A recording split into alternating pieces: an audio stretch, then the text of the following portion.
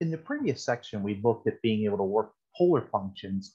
In this section, we're going to extend that and we're going to look at calculus operations with respect to polar functions. So we're going to be able to find derivatives of polar functions as well as the horizontal and vertical tangents. Um, we're also going to find areas of polar functions and then arc lengths of polar functions. To start, we're going to be working with the derivative of a polar function. And I'm going to show you how to derive this formula, but this is going to be the formula that we use for the derivative of a polar function. And to find that derivative, just remember that x is equal to r cos of theta. And if I take the derivative of x, we're going to use the product rule. Okay, so the derivative of r is going to be dr d theta, and then we keep the cos of theta. And then the derivative of cosine is negative sine. So that'll be negative r sine of theta. Recall that y is r sine of theta in polar. And so if we took the derivative of that, we would again use the product rule. And so that means that dy is going to be equal to dr d theta sine theta plus dr d theta or I'm sorry, just r cos theta. Excuse me, we already took the derivative with of r. So this will be r cos of theta. And then recall from parametrics that we can rewrite this as dy dx. And so we would just take this expression. So we would have dr d theta sine theta plus r cos of theta and then we would divide that by what we got for dx, which is dr d theta cos theta minus r sine theta. All right, and that is our formula. Okay, so that's how this formula is derived, just in case you care. Um, or maybe you forget it, at least you can remember that you just take the derivatives and then just divide them by one another. And so we're going to go ahead and utilize those to be able to find the slopes as well as horizontal and vertical tangents of polar functions. So we have this f at theta is equal to 3 sine theta, and we're going to find the slope at pi thirds. Then we're going to find the horizontal and vertical tangents. Okay, so first of all, we're going to find the derivative. And what might be helpful is to remember that whenever we see f at theta, that's the same thing as r. So I'm just going to rewrite that as r is 3 sine theta. And the derivative, dr d theta, is going to be 3 cosines of theta.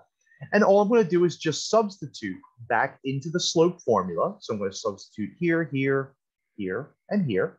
And so our dy dx is going to be equal to 3 cos theta sine theta plus r, which is 3 sine theta cos theta.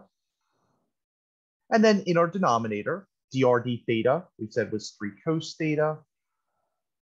And we multiply by another cos of theta. And then finally, minus r, which we said was 3 sines of theta.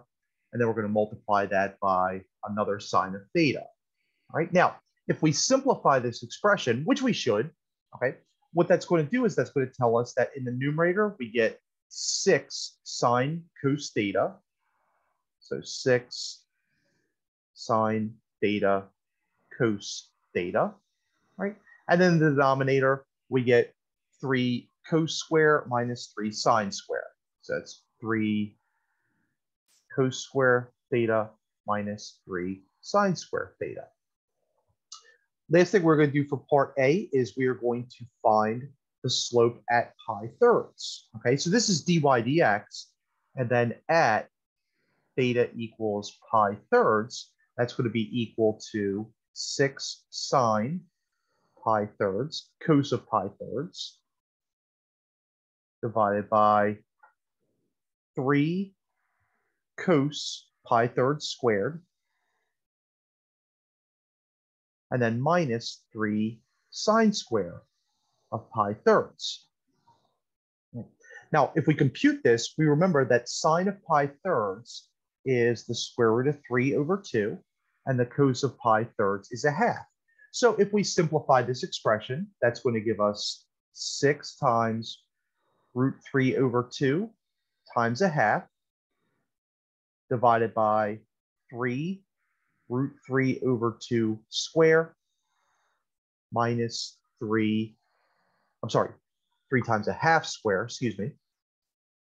Substituted the wrong one in there. So we know that cosine is a half at pi thirds, and this is going to be root 3 over 2 square. All right, and now we just do the arithmetic to simplify this. Um, the numerator is going to turn into 6 roots of 3 over 4. The denominator is going to be 3 fourths minus, this will become 3 fourths after squared it, so that'll be 9 fourths, okay? Or another way to write that, 6 roots of 3 over 4 divided by negative 6 fourths.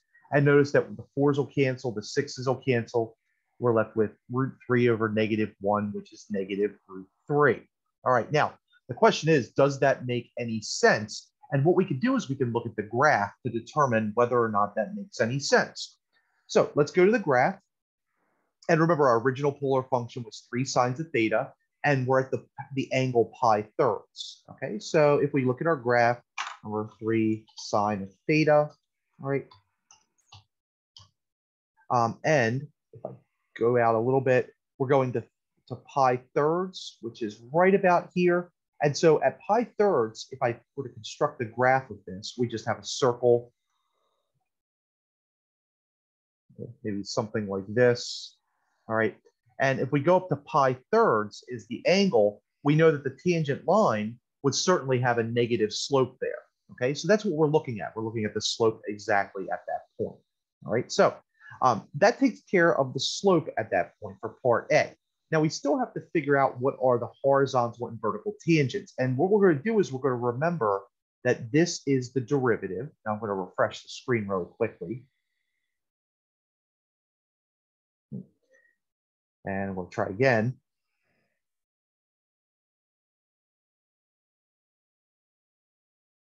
So remember our derivative dy dx was going to be 6 sine theta cos theta.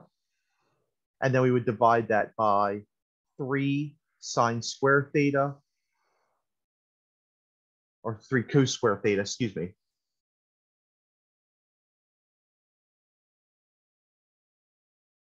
Minus 3 sine square theta. Horizontal tangents are when the numerator is equal to 0. Okay, so horizontal tangent over 0 to 2 pi, um, that would be so this would be part II. That would be 6 sine theta cos theta equals 0, right? And certainly we know that this is going to be valid with 0 and pi, right, for that. And then for the cosine, that's going to be at pi halves, 3 pi halves. Now, we have to be careful because when we look at the graph, and of course, we could try to simplify this expression. Um, there might be a way to simplify this trigonometrically. So we should go back to the graph and look. And clearly, if I was to go for horizontal tangents, okay, horizontal meaning that the slope is zero, there would certainly be one at zero, and then there would also be one at pi halves, all right? But certainly not one right here where the horizontal tangent or vertical tangent, and certainly not here. Okay, so we just have to be careful with this um, as we're going around our circle with this thing. Okay, so um, so what might be helpful for us is to go back to the original function, all right, and just remind ourselves that, okay, well, at this function, we want the tangent to be equal to zero. Okay, so if we go back to the original function, we know that if we were to plot this out that we can clearly see at zero, there's going to be a horizontal tangent. And then finally right here um, at pi, all right, if we were to kind of get circle, if we were to go through and see what happens here, remember sine of pi is going to be zero. All right, so we certainly know that at this point, it's going to be, um, we're going to make sure that we have this pi halves. And so that's going to be a horizontal tangent well as well. So if we can look at the graph to figure that out, so it looks like that the horizontal tangents for this are going to be zero and pi halves, all right? But then we can also say at pi and 3 pi halves as well. All right, just because if we were to trace this function, all right, um, what we would see is that it would go through twice to be able to get the circle. Okay, so check this out. If I just change this to pi, all right, um, notice that we get the exact same graph. If I go to pi over 2, all right, so what's happening is um, if I, as I graph it, I'm actually going through the circle two times, which is why there's horizontal tangents at zero and pi halves, and then pi, and then three pi halves again. Okay, so um, just to kind of give you an idea as to what's happening with this, all right, when we graph the function, all right, and I know this is a bad circle, but it goes around once, but then it goes around again. Okay, so um, the first time we go through, we're looking for our horizontal tangents, and that would be when theta is zero. But then the coterminal would be pi. And then up here, okay, that's when we would have our pi halves and our three pi halves. All right, so just making sure that everybody understands why there's going to be all these horizontal tangents. Now for vertical tangents, you just set the denominator equal to zero. Okay, so that's going to be where 3 cos square minus 3 sine square equals 0. Right? And if we go through and solve this, okay, um, we know that we could just say cos square theta equals sine square theta. And then if we take the square root of both sides, all right, be careful, we would have a plus or minus cos theta equals sine theta, all right? And that's only true at pi halves or pi fourths, excuse me, and three pi fourths. Okay, so if you're looking at your unit circle, all right, we know right here that we have root two over two, root two over two on the unit circle. And then over here, we have negative root two over two, and then negative root two over two, which means that the coordinates are equal to one another at those two points right? Now, technically, it's plus or minus, plus or minus, okay? Um, but we also have to consider the coterminal angles as well for this, okay? So for instance, okay, remember we're, we're revolving this a few times. So we also have to remember five pi fourths and seven pi fourths, okay? So if we look at the graph again of the circle, we know that there's going to be a vertical tangent here and there's a vertical tangent here, okay? And this angle is going to be pi fourths. This angle is going to be 3 pi fourths. But remember, we go around the circle twice, okay? So um, again, the next one would be 5 pi fourths, and then we would have 7 pi fourths, okay? So these are going to be all of the vertical tangents of the function. Okay, so I know it was a long one that we had to go through this, but just making sure that we understand how these polar functions work, and we have to be cognizant of the domains of these. Okay, so we'll look at another example in our next video of this.